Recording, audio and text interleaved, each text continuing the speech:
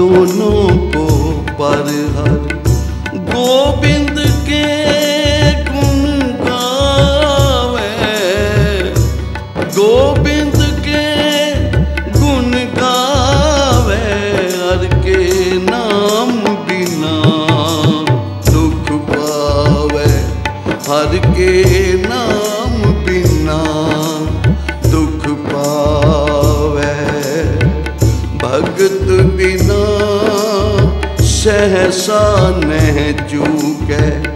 ਗੁਰ ਏ ਭੇਦ ਬਤਾਵੇ, ਹਰ ਕੇ ਨਾਮ ਬਿਨਾ ਦੁਖ ਪਾਵੇ। ਹਰ ਕੇ ਨਾਮ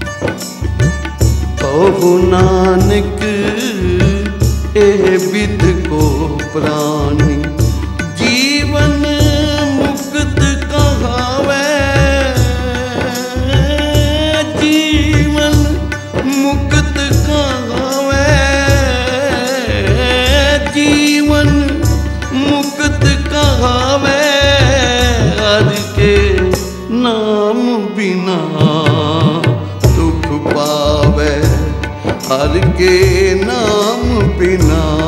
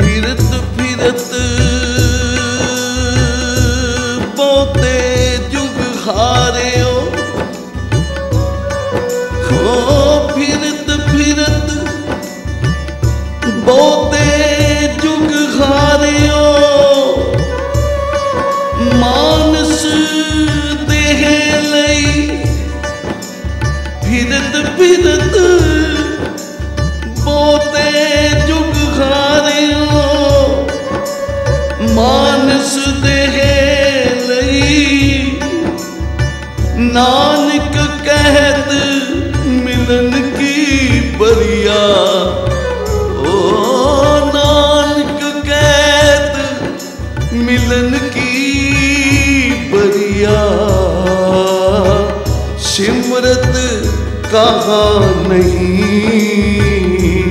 हर के नाम बिना दुख पावे हर के नाम बिना दुख पावे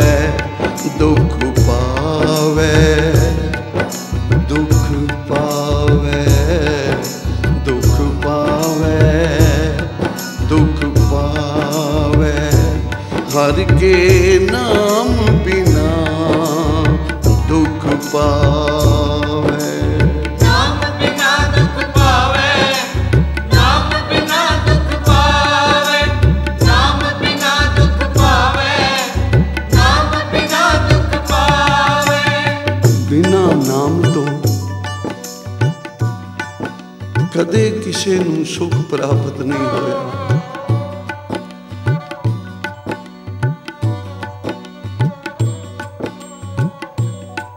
ਰਾਜਾ ਇੱਧਰ ਭਾਵੇਂ ਲੱਖਾਂ ਅਪਛਰਾਂ ਦਾ ਮਾਲਕ, ਲੱਖਾਂ ਗਣ ਗੰਧਰਵ ਜੀ ਦੇ ਦਰਬਾਰ ਵਿੱਚ ਗਾਉਂਦੇ ਹਨ। 33 ਕਰੋੜ ਦੇਵਤੇ ਜੀ ਦੀ ਆਗਿਆ ਵਿੱਚ ਚੱਲਦੇ ਸਨ। ਉਹ ਰਾਜਾ ਇੰਦਰ ਵੀ ਮਹਾਪੁਰਖਾਂ ਦੇ ਪਾਸ ਆ ਕੇ ਰੋ ਪਿਆ। ਆਖਿਆ, ਕਿਉਂ? ਰੋ ਕਿਉਂ ਰਿਹਾ ਮਹਾਰਾਜ, ਮਨ ਨੂੰ ਸ਼ਾਂਤੀ ਨਹੀਂ ਮਿਲੀ। ਜੋ ਸੁਖ ਮੈਨੂੰ ਚਾਹੀਦਾ ਸੀ, ਉਹ ਇਹਨਾਂ ਪਦਾਰਥਾਂ ਵਿੱਚ ਨਹੀਂ ਮਿਲਿਆ। ਮਹਾਪੁਰਖ ਮੁਸਕਰਾ ਕੇ ਕਹਿਣ ਲੱਗੇ, ਭਲੇ ਪੁਰਸ਼ਾ ਸੁਖ ਕੋਈ ਪਦਾਰਥਾਂ ਵਿੱਚ ਥੋੜੇ ਪਏ ਹਨ। ਸੁਖ ਕੋਈ ਰਾਜ ਭਾਗ। ਆ ਕਰਮ ਕਾਂਡ ਕਰਕੇ, ਤਪੱਸਿਆ ਕਰਕੇ ਇੰਦਰਪੁਰੀ ਮਿਲ ਜਾਂਦੀ ਹੈ, ਬ੍ਰਹਮਪੁਰੀ ਮਿਲ ਜਾਂਦੀ ਹੈ ਵਿਚਨਪੁਰੀ ਮਿਲ ਜਾਂਦੀ ਹੈ, ਪਰ ਇਹ ਕੋਈ ਨੇਚਲ ਥਾਂ ਤਾਂ ਨਹੀਂ ਹੈ। ਬ੍ਰਹਮਪੁਰੀ ਸ਼ਿਵ ਇੰਦਰਪੁਰੀ ਨੇਚਲ ਕੋਈ ਥਾਂ ਨਾ ਹੈ ਪੁੰਨਾ ਕਰਕੇ ਇਹ ਸਵਰਗ ਪ੍ਰਾਪਤ ਹੁੰਦੇ ਹਨ ਜਦੋਂ ਪੁੰਨ ਖਤਮ ਹੋ ਜਾਣ ਤਾਂ ਮਨੁੱਖ ਨੂੰ ਗਿਰਾਏ ਮਨ ਕੀਤਾ ਜਾਂਦਾ ਹੈ ਮਹਾਰਾਜ ਮੈਨੂੰ ਮਨ ਦੀ ਸ਼ਾਂਤੀ ਚਾਹੀਦੀ ਹੈ ਤਾਂ ਮਹਾਪੁਰਖਾਂ ਨੇ ਆਖਿਆ ਫਿਰ ਸੇਵਾ ਔਰ ਸਿਮਰਨ ਇਹ ਮਨ ਨੂੰ ਸ਼ਾਂਤੀ ਦਿੰਦੇ ਹਨ ਕਿਸੇ ਸ਼ਾਂਤੀ ਦੀ, ਕਿਸੇ ਗੱਲ ਦੀ ਭੁੱਖ ਨਹੀਂ ਰਹਿ ਜਾਂਦੀ, ਜਿਨ੍ਹਾਂ ਨੂੰ ਗੁਰੂ ਦੇ ਦਰ ਦੀ ਸੇਵਾ ਮਿਲ ਜਾਂਦੀ ਹੈ ਔਰ ਸਿਮਰਨ ਮਿਲ ਜਾਂਦਾ ਹੈ। ਕਰ ਸੇਵਾ ਪਾਰ ਬ੍ਰਹਮ ਗੁਰ, ਭੁੱਖ ਰਹੇ ਨਾ ਕਾਈ। ਰਾਜ ਭਾਗ ਦੀ ਭੁੱਖ ਹੀ ਨਹੀਂ ਰਹਿ ਜਾਂਦੀ। ਜਿਵੇਂ ਪ੍ਰਹਿਲਾਦ ਨੂੰ, ਭਗਤ ਧਰੂ ਨੂੰ ਕੋਈ ਰਾਜ ਭਾਗ ਦੀ ਭੁੱਖ ਨਾ ਰਹੀ, ਜਦੋਂ ਨਾਮ ਦਾ ਸਵਾਦ ਆ ਗਿਆ। ਤੋ ਇਸ ਲਈ ਮਹਾਰਾਜ ਕਹਿੰਦੇ ਨੇ, ਜਿਨ੍ਹਾਂ ਨੇ ਨਹੀਂ ਜਪਿਆ ਭਾਈ, ਉਹ ਤਾਂ ਦੁਖੀ ਹੋਏ ਹਨ। ਉਹਨਾਂ ਕਦੇ ਸੁੱਖ ਨਹੀਂ ਮਾਣਿਆ, ਜਿਨ੍ਹਾਂ ਨੇ ਨਹੀਂ ਜਪਿਆ। ਧ੍ਰਿਤ ਰਾਸ਼ਟਰ ਇਤਨਾ ਵੱਡਾ ਰਾਜਾ, ਜੀਵ ਦੀ ਸਵਾਦ ਜੀਵ ਦਾ ਸਵਾਦ ਲੈਣ ਲਈ ਉਸਨੇ ਪਿਛਲੇ ਜਨਮ ਵਿੱਚ ਹੰਸਾਂ ਦੇ 100 ਬੱਚੇ ਮਾਰ ਕੇ ਖਾਦੇ ਸੀ। ਪਰ ਦੇਣਾ ਪਿਆ, ਜੰਗ ਵਿੱਚ 100 ਪੁੱਤਰ ਜਦੋਂ ਮਾਰੇ ਗਏ, ਬੜਾ ਦੁੱਖ ਸਹਿਣਾ ਪਿਆ, ਕਿਉਂਕਿ ਕੀਤਾ ਤਾਂ ਆਪ ਹੀ ਹੈ ਨਾ ਪਾਪ। ਦੱਦਾ ਦੋਸ਼ ਨਾ ਦੀਜੇ, ਕਾਹੂ ਦੋਸ਼ ਕਰਮਾ ਆਪਣਿਆ, ਜੋ ਮੈਂ ਕੀਆ, ਸੋ ਮੈਂ ਪਾਇਆ। ਸੋ ਪੁੱਤਰ ਹੰਸਾਂ ਦੇ ਬੱਚੇ ਮਾਰ ਕੇ ਜੀਵ ਦੇ ਸਵਾਦ ਲਈ ਖਾਦੇ ਸਨ ਤੇ ਜੰਗ ਵਿੱਚ 100 ਪੁੱਤਰ ਮਾਰੇ ਗਏ। ਤੇ ਜੇ ਹਿਰਦੇ ਵਿੱਚ ਨਾਮ ਹੁੰਦਾ, ਤਾਂ ਇਹ ਪਾਪ ਨਾ ਕਦੇ ਹੁੰਦਾ। ਕਿਉਂਕਿ ਨਾਮ ਨੇ ਤਾਂ ਸਾਰੀਆਂ ਹੀ ਭੁੱਖਾਂ ਪੂਰੀਆਂ ਕਰ ਦੇਣੀਆਂ ਜਿੱਥੇ ਨਾਮ ਦਾ ਰਸ ਆ ਗਿਆ, ਦੁਨਿਆਵੀ ਰਸ ਦੂਰ ਹੋ ਜਾਂਦੇ ਹਨ ਆਪੇ। ਉਹ ਰਸ ਪੀਆ, ਇਹ ਰਸ ਨਹੀਂ ਪਾਵਾ। ਗੁਰਬਾਣੀ ਦਾ ਰਸ ਜਿਨ੍ਹਾਂ ਨੂੰ ਆ ਗਿਆ, ਉਹਨਾਂ ਨੇ ਫਿਰ ਪਦਾਰਥਾਂ ਵਿੱਚ ਰਸ ਨਹੀਂ ਲੱਭੇ।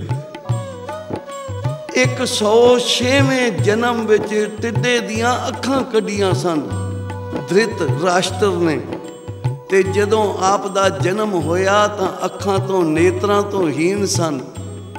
ਇਹ ਵੀ ਕਰਮਾਂ ਦੀ ਗਤੀ ਸੀ। ਉਚਾਰਨ ਕਰੋ ਸ੍ਰੀ ਤੋ ਜਿਨ੍ਹਾਂ ਨੇ ਵੀ ਭਾਈ ਕੋਈ ਪ੍ਰਭੂ ਨੂੰ ਪਾਇਆ ਜਿਨ੍ਹਾਂ ਨੇ ਵੀ ਸੰਸਾਰ ਤੇ ਆਉਣਾ ਸਫਲ ਕੀਤਾ ਉਹਨਾਂ ਨੇ ਸਾਸ ਗਰਾਸ ਜਪਿਆ ਸ੍ਰੀ ਵਾਹਿਗੁਰੂ। ਇਸ ਲਈ ਮੇਰੇ ਪਾਤਸ਼ਾਹ ਕਹਿ ਰਹੇ ਹਨ, ਹਰ ਕੇ ਨਾਮ ਬਿਨਾ ਦੁੱਖ ਪਾਵੇ। ਜਿਸ ਨੇ ਵੀ ਨਾਮ ਨਹੀਂ ਜਪਿਆ, ਏਡੇ ਦੇ ਚੱਕਰਵਰਤੀ ਪਾਤਸ਼ਾਹ ਵੀ ਦੁਨੀਆ ਤੋਂ ਰੋਂਦੇ ਹੋਏ ਚਲੇ ਗਏ।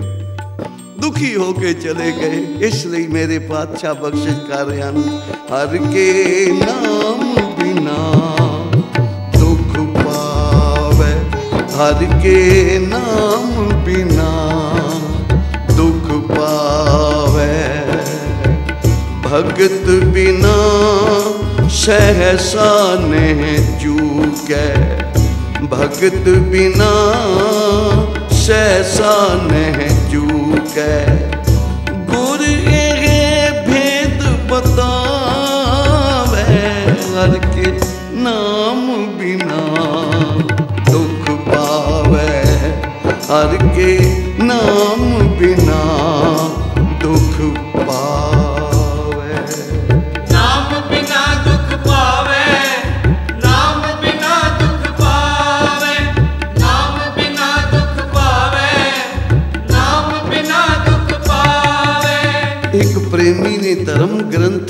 ਪੜਿਆ ਕੋਈ ਜਿਹੜੇ 40 ਦਿਨ ਇੱਕ ਮਨ, ਇੱਕ ਚਿੱਤ ਹੋ ਕੇ ਸਿਮਰਨ ਕਰਦੇ ਹਨ ਅੰਮ੍ਰਿਤ ਵੇਲੇ ਜਾਗ ਕੇ, ਉਹਨਾਂ ਨੂੰ ਪ੍ਰਭੂ ਦੀ ਪ੍ਰਾਪਤੀ ਹੁੰਦੀ।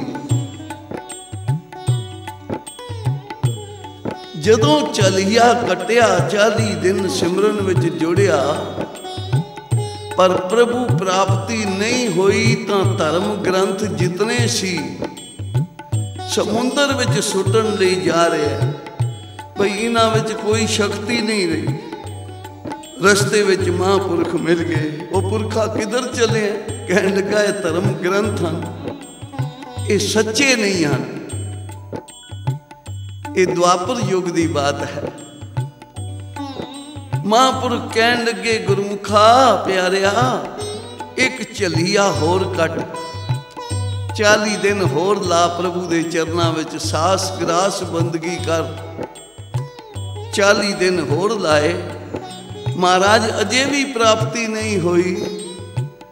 ਤਾਂ ਮਹਾਂਪੁਰਖ ਕਹਿਣ ਲੱਗੇ ਕਾਲਾ ਨਾ ਪੈ। ਕਿਉਂਕਿ ਪਰਮਾਰਥ ਦੀ ਪੜ੍ਹਾਈ ਉੱਥੋਂ ਸ਼ੁਰੂ ਹੁੰਦੀ ਹੈ, ਜਿੱਥੇ ਦੁਨੀਆ ਦੀਆਂ ਪੜ੍ਹਾਈਆਂ ਖਤਮ ਹੋ ਜਾਂਦੀਆਂ ਹਨ। ਬੱਚਾ 16 ਸਾਲ ਪੜਦਾ ਹੈ। ਆਪਣੀ ਰੋਟੀ ਦੇ ਗੁਜ਼ਾਰੇ ਜੋਗਾ ਬਣਦਾ ਮਸਾਂ। ਤੇ ਪ੍ਰਭੂ ਪ੍ਰਾਪਤੀ ਲਈ ਵੀ ਕੁਝ ਕਰਨਾ ਪਏਗਾ ਨਾ। ਮਿਹਨਤ ਕਰਨੀ ਪਏਗੀ, ਇੱਕ ਚਲੀਆ ਹੋਰ ਕੱਟ ਮਨ ਕਰਕੇ। ਤੇ ਪਿਆਰੀ ਸਾਧ ਸੰਗਤ ਜੀ, ਜਦੋਂ ਉਸਨੇ ਮਨ ਕਰਕੇ ਅੰਮ੍ਰਿਤ ਵੇਲੇ ਜਾਗ ਕੇ, ਇਸ਼ਨਾਨ ਕਰਕੇ 40 ਦਿਨ 13 ਘੰਟੇ ਰੋਜ਼ ਨਿਤ ਨੇਮ ਕੀਤਾ ਪ੍ਰਭੂ ਦੀ ਪ੍ਰਾਪਤੀ ਹੋਈ, ਮਨ ਦੀ ਪ੍ਰਸੰਨਤਾ, ਮਨ ਦੀ ਖੁਸ਼ੀ ਦੀ ਹੱਦ ਨਹੀਂ ਰਹੀ। ਮਹਾਪੁਰਖਾਂ ਦੇ ਚਰਨਾਂ ਤੇ ਜਾ ਸੀਸ ਰੱਖਿਆ, ਅਸ਼ੀਰਵਾਦ ਲਈ ਤੇ ਬੇਨਤੀ ਕੀਤੀ, ਮਹਾਰਾਜ, ਇਹ ਦੱਸੋ ਬਈ, ਪਹਿਲੇ ਚਲੀਏ ਵਿੱਚ ਵੀ ਦਰਸ਼ਨ ਨਾ ਹੋਏ, ਦੂਜੇ ਵਿੱਚ ਵੀ ਨਾ ਹੋਏ ਤੇ ਤੀਸਰੇ ਵਿੱਚ ਹੋਇਆ ਨਹੀਂ ਦਾ ਕੀ ਕਾਰਨ ਹੈ? ਤਾਂ ਮਹਾਂਪੁਰਖ ਕਹਿਣ ਲੱਗੇ ਭਲੇ ਪੁਰਸ਼ਾ ਜਿਹੜਾ ਤੂੰ ਪਹਿਲੇ ਚਲੀਆ ਕਟਿਆ ਨਾ, ਉਹ ਤੇਰੇ ਪਿਛਲੇ ਜਨਮਾਂ ਦੇ ਪਾਪ ਕਰਮ ਜਿਤਨੇ ਸੀ, ਉਹ ਨਿਵਰਤ ਹੋ ਗਏ। ਜਿਹੜਾ ਤੂੰ ਦੂਸਰਾ ਚਲੀਆ ਕਟਿਆ, ਤੇਰੇ ਦੁੱਖ ਰੋਗ ਇਸ ਜਨਮ ਵਿੱਚ ਜਿਤਨੇ ਪਾਪ ਕੀਤੇ ਹੋਏ ਸੀ, ਉਹ ਨਿਵਰਤ ਹੋ ਗਏ।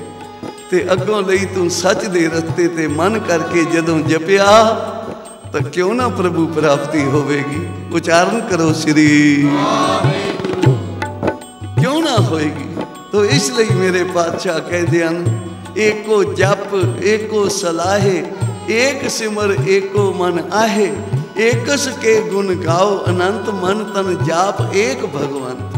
ਹਰ ਵੇਲੇ ਉਸ ਨੂੰ ਜਪੇਗਾ, ਤਾਂ ਤੇਰੇ ਕਰੋੜਾਂ ਜਨਮਾਂ ਦੇ ਕੀਤੇ ਹੋਏ ਪਾਪਾਂ ਦੀ ਮੈਲ ਕੱਟੀ ਜਾਏਗੀ।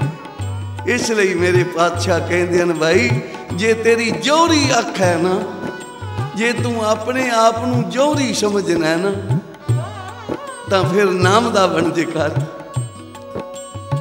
ਇੱਕ ਰਾਜੇ ਕੋਲ ਬੜਾ ਕੀਮਤੀ ਲਾਲ ਆਇਆ। ਆਪਣੇ ਜੋਤਸ਼ੀ ਨੂੰ ਬੁਲਾ ਕੇ ਕਹਿਣ ਲੱਗਾ, ਇਹਦੀ ਪਰਖ ਕਰ, ਇਹ ਕਿਤਨੇ ਦਾ ਲਾਲ ਹੈ? ਕਿਉਂਕਿ ਰਾਜੇ ਮਹਾਰਾਜੇ ਜੋਰੀਆਂ ਨੂੰ ਕੋਲ ਰੱਖਦੇ ਹਨ। ਸੁਦਾਗਰ ਨੇ ਜਦੋਂ ਲਾਲ ਰੱਖਿਆ ਸਾਹਮਣੇ, ਰਾਜੇ ਦੇ ਜੋਰੀ ਨੇ ਜਦੋਂ ਦੀ ਪਰਖ ਕੀਤੀ ਤਾਂ ਕਹਿਣ ਲੱਗਾ, ਮਹਾਰਾਜ, ਇਹ ਲਾਲ ਪੂਰੇ ਲੱਖ ਦਾ ਨਹੀਂ, ਇਹ 99000 ਦਾ ਹੈ। ਰਾਜਾ ਹੈਰਾਨ ਹੋ ਗਿਆ, ਬਈ 99 99000 ਤੇ ਲੱਖ ਵਿੱਚ ਕੀ ਫ਼ਰਕ ਹੈ? ਜੋਰੀ ਨੂੰ ਕਹਿੰਦਾ ਕਿ ਇਸ ਗੱਲ ਦੀ ਮੈਨੂੰ ਸਮਝ ਨਹੀਂ ਆਈ ਕਿ ਇਹ ਲੱਖ ਦਾ ਕਿਉਂ ਨਹੀਂ ਹੋ ਸਕਦਾ? ਕੇਵਲ 99000 ਦਾ ਕਿਉਂ ਹੈ? ਤਾਂ ਜੋਰੀ ਨੇ ਆਖਿਆ, ਰਾਜਨ ਮਣੀਆਂ ਮੰਗਾਓ। ਮਣੀਆਂ ਮੰਗਾਈਆਂ ਗਈਆਂ ਤੇ ਜਦੋਂ 99 100 ਮਣੀਆਂ ਰੱਖੀਆਂ ਤਾਂ 99 ਦੇ ਵਿੱਚ ਤਾਂ ਰੋਸ਼ਨੀ ਪਾਈ ਲਾਲ ਨੇ। ਪਰ ਸੋਵੀਂ ਮਣੀ ਵਿੱਚ ਰੋਸ਼ਨੀ ਨਹੀਂ ਪਾ ਸਕਿਆ। ਇਸ ਵਾਸਤੇ ਉਹ ਲਾਲ 99 ਹਜ਼ਾਰ ਦਾ ਹੈ ਵੱਧਦਾ ਨਹੀਂ ਹੈ। ਰਾਜਾ ਬੜਾ ਪ੍ਰਸੰਨ ਹੋਇਆ, ਬੜਾ ਖੁਸ਼ ਹੋਇਆ। ਭਈ ਮੇਰੇ ਪਾਸ ਐਸਾ ਲਾਇਕ ਜੋਰੀ ਹੈ। ਆਪਣੇ ਮਹਾਂਪੁਰਖਾਂ ਦੇ ਪਾਸ ਜਾ ਕੇ ਕਹਿਣ ਲੱਗਾ, ਮਹਾਰਾਜ, ਗਰੀਬ ਨਿਵਾਜ਼, ਮੇਰੇ ਜੋਰੀ ਨੇ ਇੱਕ ਬੜੀ ਕਮਾਲ ਦੀ ਗੱਲ ਦੱਸੀ ਹੈ। ਕਿ ਇੱਕ ਲਾਲ ਦੀ ਕੀਮਤ ਪਾ ਕੇ ਦੱਸੀ ਹੈ ਉਸਨੇ ਕਿ 99000 ਹੈ, ਲੱਖ ਦਾ ਨਹੀਂ ਹੋ ਸਕਦਾ ਤੇ ਸਾਹਮਣੇ ਵਿਖਾ ਦਿੱਤਾ ਸੁ। ਐਸੀ ਜੋਰੀ ਅੱਖ ਹੈ। ਤੇ ਮੈਂ ਤੁਹਾਡੇ ਹੱਥੀਂ ਉਹਨੂੰ ਇਨਾਮ ਦੇਣਾ ਚਾਹੁੰਦਾ ਕੁਝ। ਮਹਾਂਪੁਰਖੋ ਤੁਸੀਂ ਇਨਾਮ ਦਿਓ। ਤੇ ਮਹਾਂਪੁਰਖ ਕਹਿਣ ਲੱਗੇ, ਚੰਗਾ, ਫਿਰ ਮੇਰੇ ਵੱਲੋਂ ਇਨਾਮ ਦੇਣਾ ਮੈਂ ਆਪ ਤਾਂ ਨਹੀਂ ਦਿੰਦਾ। ਮੇਰੇ ਵੱਲੋਂ ਤੁਸੀਂ ਦਿਓ ਉਹਨੂੰ ਇਨਾਮ। ਮਹਾਰਾਜ, ਕੀ ਦਈਏ? ਹੁਕਮ ਕਰੋ। ਕਹਿਣ ਲੱਗੇ 100 ਬੁੱਕ ਸੁਆ ਦੇ ਉਹਦੇ ਸਿਰ ਵਿੱਚ ਪਾਓ। ਰਾਜਾ ਹੈਰਾਨ ਹੋ ਗਿਆ। ਭਾਈ 100 ਬੁੱਕ ਸੁਆ ਦੇ ਸਿਰ ਵਿੱਚ ਪਾਉਣੇ ਹਨ, ਮਿੱਟੀ ਦੇ ਪਾਣੇ ਹਨ, ਇਹ ਇਨਾਮ ਹੈ ਕੋਈ? ਉਹ ਮਹਾਂਪੁਰਖ ਕਹਿਣ ਲੱਗੇ, ਰਾਜਨ, ਜਿਹੜੇ ਜਿਸ ਬੰਦੇ ਦੀ ਐਸੀ ਜੋਹਰੀ ਅੱਖ ਹੈ ਪਛਾਣ ਦੀ ਅਜੇ ਤੋਂ ਨਹੀਂ ਉਸਨੇ ਨਾਮ ਦਾ ਲਾਲ ਨਹੀਂ ਪਛਾਣਿਆ। ਅਜੇ ਤੱਕ ਉਸਦੇ ਮਨ ਵਿੱਚ ਇਹ ਖਿਆਲ ਨਹੀਂ ਆਇਆ ਕਿ ਮੈਂ ਇਸ ਸੰਸਾਰ ਵਿੱਚ ਨਾਮ ਦਾ ਵਰਜ ਕਰਨ ਆਇਆ। ਹੀਰੇ ਲਾਲਾਂ ਤੋਂ ਮਹਿੰਗੇ ਵਾਹਿਗੁਰੂ ਨੇ ਸਵਾਸ ਦਿੱਤੇ ਹਨ, ਇਹਨਾਂ ਨੂੰ ਜਪ ਜਪ ਕੇ ਸਫਲ ਕਰਨ ਲਈ ਆਇਆ। ਜਿਹੜਾ ਇਤਨਾ ਸਿਆਣਾ, ਇਤਨਾ ਲਾਇਕ ਹੋ ਕੇ ਵੀ ਨਾਮ ਨੂੰ ਨਹੀਂ ਅਖਤਿਆਰ ਕਰਦਾ, ਤੇ ਫਿਰ ਐਸੇ ਜੋਰੀ ਦੇ ਸਿਰ ਵਿੱਚ ਰਾਖ ਹੀ ਪਾਉਣੀ ਚਾਹੀਦੀ ਹੈ। ਉਚਾਰਨ ਕਰੋ ਸ੍ਰੀ ਜੋਰੀ ਚਰਨਾ ਤੇ ਡਿੱਗ ਪਿਆ ਮਹਾਂਪੁਰਖੋ। ਇਹ ਗੱਲ ਮੈਨੂੰ ਅੱਗੇ ਕਿਸੇ ਨੇ ਚੇਤੇ ਨਹੀਂ ਕਰਾਈ। ਮਹਾਂਪੁਰਖ ਕਹਿਣਗੇ ਉਹ ਭਲੇ ਲੋਕਾ, ਭਾਵੇਂ ਕਿਤਨਾ ਤੂੰ ਜੋਰੀ ਬਣ ਜਾ, ਪਰ ਹਰੀ ਦੇ ਨਾਮ ਤੋਂ ਬਿਨਾ ਸਾਰਿਆਂ ਨੇ ਦੁੱਖ ਹੀ ਭੋਗਿਆ ਕਿਸੇ ਨੇ ਸੁੱਖ ਨਹੀਂ ਪਾਇਆ। ਜਿਨ੍ਹਾਂ ਨੇ ਵੀ ਸੁੱਖ ਪ੍ਰਾਪਤ ਕੀਤਾ ਨਾਮ ਦੇ ਲਾਲਾਂ ਦਾ ਵਣਜ ਕਰਕੇ ਹੀ ਕੀਤਾ ਇਹ ਬਖਸ਼ਿਸ਼ ਹੈ, ਜਿਨ੍ਹਾਂ ਤੇ ਮਿਹਰ ਕਰ ਦੇਵੇ ਮੇਰਾ ਮਾਲਕ, ਉਹਨਾਂ ਨੂੰ ਹੀ ਨਾਮ ਦੀ ਦਾਤ ਪ੍ਰਾਪਤ ਹੁੰਦੀ ਹੈ। ਪਰ ਅਸੀਂ ਪਾਤਰ ਵੀ ਹੋਈਏ, ਮਾਲਕ ਦੇਣਾ ਚਾਹੁੰਦਾ ਅਸੀਂ ਪਾਤਰ ਹੀ ਨਹੀਂ ਆ ਤਾਂ ਕਿਵੇਂ ਮਿਲੇਗਾ? ਧੰਨ ਗੁਰੂ ਨਾਨਕ ਪਾਤਸ਼ਾਹ ਜੀ ਨੂੰ ਪਰਖਣ ਲਈ ਜਦੋਂ ਸ਼ਿਵਨਾਭ ਰਾਜੇ ਨੇ ਪਦਮਨੀ ਜਾਤੀ ਦੀਆਂ ਲੜਕੀਆਂ ਨੂੰ ਭੇਜਿਆ ਸੀ, ਬਈ ਜਾਓ। ਗੁਰੂ ਨਾਨਕ ਦੇ ਮਨ ਨੂੰ ਘੇਰੋ, ਆਪਣੇ ਵਸ ਵਿੱਚ ਕਰੋ। ਕਿਉਂਕਿ ਰਾਜੇ ਨੂੰ ਨਿਸ਼ਾਨੀ ਮਿਲੀ ਸੀ। ਬੜੇ ਬੜੇ ਪਖੰਡੀ ਆਉਂਦੇ ਸਨ, ਜਿਹੜੇ ਆਪਣੇ ਧਰਮ ਤੋਂ ਹੀਨ ਹੋ ਕੇ ਚਲੇ ਜਾਂਦੇ ਸੀ। ਇਹ 18 18 ਸਾਲਾਂ ਦੀਆਂ ਲੜਕਣੀਆਂ, ਲੜਕੀਆਂ, ਪਦਮਨੀ ਜਾਤੀ ਦੀਆਂ ਲੜਕੀਆਂ ਜਦੋਂ ਗਈਆਂ ਤਾਂ ਧੰਨ ਗੁਰੂ ਨਾਨਕ ਪਾਤਸ਼ਾਹ ਦੀ ਰਹਿਮਤ ਤੇ ਨਜ਼ਰ ਪਈ ਤੇ ਮੇਰੇ ਪਾਤਸ਼ਾਹ ਉਹਨਾਂ ਲੜਕੀਆਂ ਨੂੰ ਜਦੋਂ ਨਜ਼ਰ ਕੀਤੀ, ਨਜ਼ਰ ਕਰ ਦਿੱਤੀ ਜਦੋਂ ਤੇ ਉਦੋਂ ਉਹਨਾਂ ਦਾ ਮਨ ਹੀ ਬਦਲ ਗਿਆ। ਉਹਨਾਂ ਦਾ ਮਨ ਹੀ ਬਦਲ ਗਿਆ ਤੇ ਰਾਜੇ ਸ਼ਿਵਨਾਬ ਨੂੰ ਆ ਕੇ ਕਹਿਣ ਲੱਗੀਆਂ ਕਿ ਰਾਜਨ,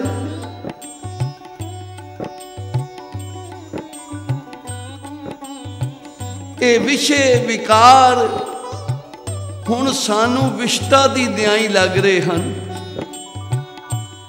ਅੱਜ ਤੋਂ ਬਾਅਦ ਅਸੀਂ ਤੇਰੇ ਦਰਬਾਰ ਵਿੱਚ ਕਦੀ ਕੋਈ ਗਾਉਣ ਨਹੀਂ ਕਰਾਂਗੇ, ਕਦੀ ਕੋਈ ਨਾਚ ਨਹੀਂ ਕਰਾਂਗੀਆਂ। ਗੁਰੂ ਨਾਨਕ ਨੇ ਐਸੀ ਰਹਿਮਤ ਤੇ ਨਜ਼ਰ ਕਰ ਦਿੱਤੀ ਹੈ ਕਿ ਹੁਣ ਸਾਰਾ ਜੀਵਨ ਜੀਵਨ ਦਾ ਹਰ ਸਵਾਸ ਅਸੀਂ ਜਪ ਜਪ ਕੇ ਸਫਲ ਕਰਾਂਗੀਆਂ। ਤੋ ਜਿਨ੍ਹਾਂ ਨੂੰ ਵਾਹਿਗੁਰੂ ਨੇ ਸੋਝੀ ਪਾ ਦਿੱਤੀ ਹੈ ਭਾਈ ਉਹ ਤਾਂ ਫਿਰ ਸਮਝ ਗਏ ਕਿ ਹਰ ਕੇ ਨਾਮ ਬਿਨਾ ਦੁੱਖ ਪਾਵੇ। ਗਾਛੋ ਪੁੱਤਰੀ ਰਾਜ ਕੁਆਰ, ਨਾਮ ਪਣੋ ਸੱਚ ਦੋਤ ਸਵਾਰ। ਜਦੋਂ ਗੁਰੂ ਨਾਨਕ ਨੇ ਇਹ ਬਚਨ ਕਰ ਦਿੱਤਾ, ਤੇ ਸਾਰੇ ਵਿਸ਼ੇ ਵਿਕਾਰਾਂ ਨੂੰ ਛੱਡ ਕੇ, ਨਾਚ ਗਾਣਿਆਂ ਨੂੰ ਛੱਡ ਕੇ, ਇਹ ਗੁਰੂ ਦੇ ਚਰਨਾਂ ਨਾਲ ਜੁੜ ਗਈਆਂ।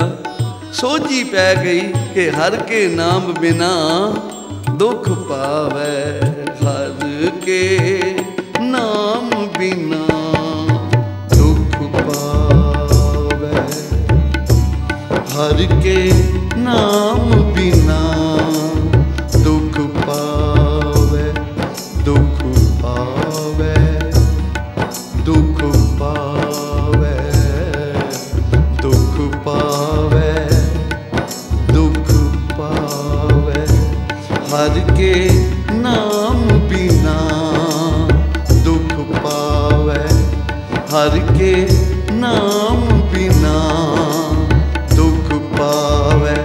ਭਗਤ ਬਿਨਾ ਸਹਸਾ ਨਹੀਂ ਚੂਕੈ। ਗੁਰ ਇਹ ਭੇਦ ਪਤਾਵੇ ਹਰ ਕੇ ਨਾਮ